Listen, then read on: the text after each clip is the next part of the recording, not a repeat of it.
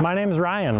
I'm the marketing director for Mototote, and today we're going to show you how to install a Mototote Mini. For the first step that's optional, we're going to insert the square tube into the trailer hitch with the end cap facing out.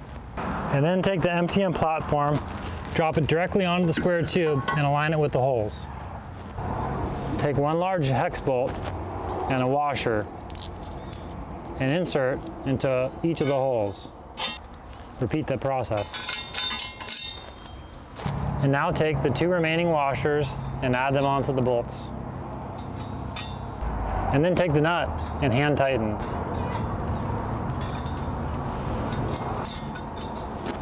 And then take out the tools and tighten until the gap is completely closed.